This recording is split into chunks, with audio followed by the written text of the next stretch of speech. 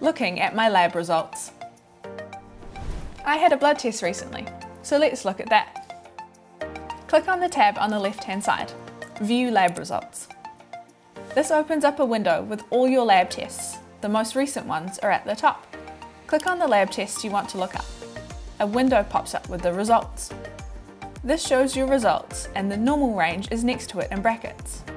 If your result is outside the normal range, then this is shown as a red H for high and L for low. As you can see, mine says 35, which is just inside the normal range.